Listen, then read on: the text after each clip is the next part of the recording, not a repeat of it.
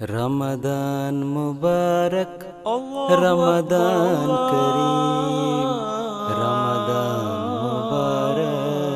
रामदी Ramadan मुारक रमदी Ramadan मुारक रमदी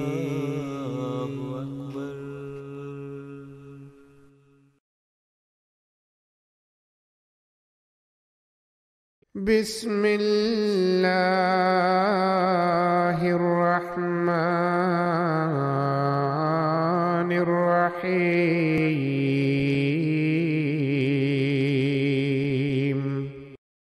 شهر رمضان الذي ينزل فيه القرآن هدى للناس وبينات من الهدى والفرقان. فمن شهد منكم الشهر فليسم ومن كان مريضا أو على سفر فعدة من أيام أخر. يريد الله بكم اليسر ولا يريد بكم العسر ولتكملوا العدة ولتكبروا الله على ما هداكم ولعلكم تشكرون. Assalamu alaikum wa rahmatullahi wa barakatuhu. The translation of the verse of the Holy Quran that was recited at the beginning of this video is as follows The month of Ramadan is that in which the Quran was sent down as a guidance for mankind with clear proofs of guidance and discrimination. Therefore, whosoever of you is present at home in this month, let him fast therein. But whoso is sick or is on a journey shall fast the same number of other days. Allah desires to give you facility, and He desires not hardship for you, and that you may complete this number, and that you may exalt Allah for His having guided you, and that you may be grateful. It is narrated by one of the companions of the Holy Prophet Muhammad sallallahu alaihi wasallam, Hazrat Salman Farsi radiallahu anhu, that on the last day of Sha'ban, the month before Ramadan, the Holy Prophet Muhammad sallallahu alaihi wasallam addressed the companions and he said, O people, a great and majestic month is upon you. Indeed, it is a blessed month, which contains a night that is greater than a thousand months in terms of reward and grandeur. He also said, Whosoever tries to attain nearness to Allah through voluntary worship will attain the same level of reward as is accumulated through obligatory worship on normal days. Similarly, whosoever offers obligatory worship in these days will attain 70 times the reward of obligatory worship that is done in normal days.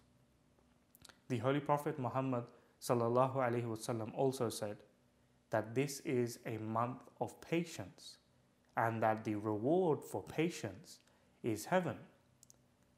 In regard to service to humanity and your brothers and sisters, the Holy Prophet said, "Whoever helps in breaking someone's fast, that becomes a means for saving him from hellfire."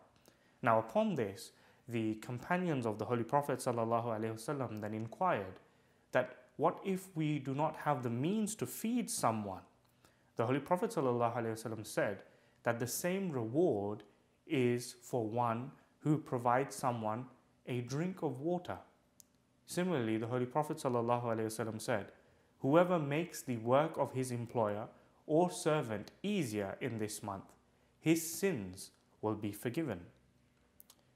It is also famously narrated that the Holy Prophet ﷺ said that huwa shahrun awwalahu rahmatun wa awsatuhu maghfiratun wa akhiruhu aitkum minan nar. That is that this month is such that the first 10 days is a form of mercy from Allah. The middle 10 days is a form of forgiveness or a opportunity to attain the forgiveness of Allah. And the last 10 days is a means for one to be saved from the hellfire. The Holy Prophet ﷺ also said, Make sure to specially observe this month as it is the month of God, who is the most blessed and the most majestic. Similarly, he said, He has left for you 11 months in which you eat and drink and attain every form of pleasure. However, this month he has reserved for himself. Similarly, the Holy Prophet ﷺ also in another occasion said, When the month of Ramadan comes, the doors of heaven are flung open, and the gates of hell are shut, and Satan is chained. This is because of the atmosphere that is created during the month of Ramadan, in which we benefit from one another's spiritual light and the energy that we all share during this month in trying to attain the love of Allah. Similarly, the Holy Prophet ﷺ said, Whosoever gets up at night to worship in the nights of Ramadan, his past sins will be forgiven. He also said, إنما سمي رمضان لأنه يرمض الذنوب. That is, that it is called the month of Ramadan because it quite literally burns away all of one's sins.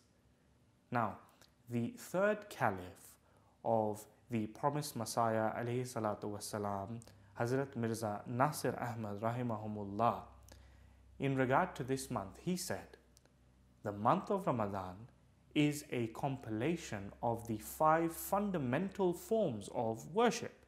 Firstly, there is fasting, then we are directed towards offering prayer and specifically offering the voluntary prayers by awaking at night. Thirdly, we recite the Holy Quran much more frequently than before. Fourthly, we are taught to be more generous. And finally, we are able to overcome the soul that incites to evil. So may Allah enable us to make the most of this majestic month. Join me again tomorrow to learn more about Islam and the Holy Quran in relation to the month of Ramadan. Until then, Assalamu alaikum wa rahmatullahi wa barakatuh. مولاي صل وسلم دائما